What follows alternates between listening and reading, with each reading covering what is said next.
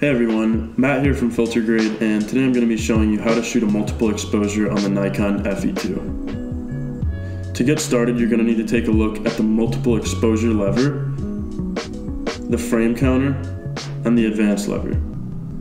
Start by shooting one frame, and then hold down the multiple exposure lever while advancing the frame. This actually doesn't advance the frame when you hold down the multiple exposure lever. As you can see, I'm still on frame 14. Then take the next shot and advance the film as you normally would to create a double exposure effect.